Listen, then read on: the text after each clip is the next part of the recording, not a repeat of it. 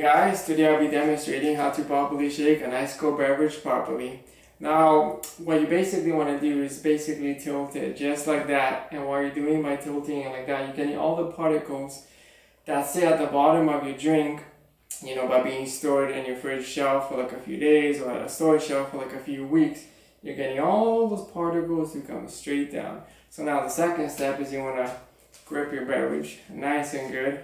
Just start shaking it, just like that. Just, just slowly start shaking, and and of course by shaking it like this, you wanna, you want a nice, good, strong grip on your big, thick beverage, so it doesn't, you know, slip away from you. And yeah, just, just keep going at it. Just, oh, just nice, good shake. Just, oh, it's faster, and I go faster and faster.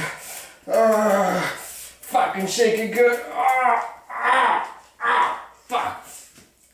Ah, sorry guys, kind of sprained my arm there. Oh yeah, that's how you basically shake a beverage the proper way. Enjoy guys.